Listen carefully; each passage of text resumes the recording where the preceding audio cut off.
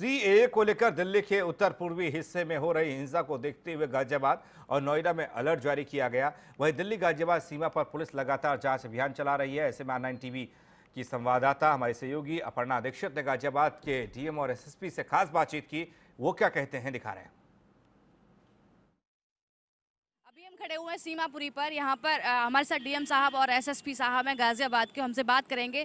जो दिल्ली की हिंसा है, वो या बॉर्डरों पर भी आकर इनकी लपटें देखी जा सकती हैं। कल से ही दिल्ली गाजियाबाद में धारा 144 लगा दी गई है। सर गाजियाबाद के कैसे हालात हैं? देखिए, गाज़ियाबाद में पूरी तरह से शांति है और क्योंकि दिल्ली में आज शांति का माहौल है, इसलिए विशेष रूप से जो नॉर्थ ईस्ट डिस्ट्रिक्ट है दिल्ली का, इसलिए उससे जुड़ने वाली जो सड़कें हमारी हैं उस पर हम लोगों ने पूरी तरह से बॉर्डर सील कर दिया है। न तो उधर से कोई आ रहा न इधर से कोई जा पा रहा है।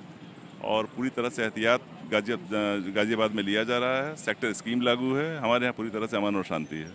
जी हाँ बिल्कुल। हमारे साथ एसएसपी साहब भी उनसे भी बात करेंगे। सर किस तरीके से आप धारा 144 लगी हुई है यहाँ पर शांति माहौल देखा जा सकता है? क्या कहेंगे?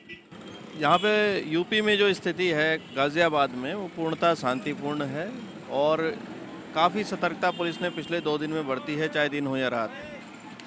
जितने बॉर्डर पॉइंट्स थे, वहाँ पर हम लोगों की पिकेटिंग रही सेंसिटिव एरियाज़ में पिकेटिंग रही, और जो लोगों का मूवमेंट है, उसको आप देख सकते हैं, यहाँ पे गाड़ियों को भी चेक करके हम लोग देख रहे हैं कि कोई संदिग्ध व्यक्ति या कोई अराजक व्यक्ति, उसका क्रॉस बॉर्डर मूवमेंट ना हो। जहाँ पर ज़्यादा सेंसिटिव है, जहाँ दिल्ली के इलाकों में 100 मीटर 200 मीटर के अंदर ही आगजनी वगैरह हुई है, वहाँ पर हमने टोटली उसको सील कर दिया था उस समय।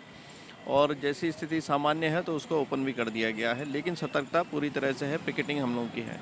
सतर्कता पूरी तरीके से बनी हुई है। आप हमारे पीछे देख सकते हैं, गाड़ियों की लगातार चेकिंग जारी है।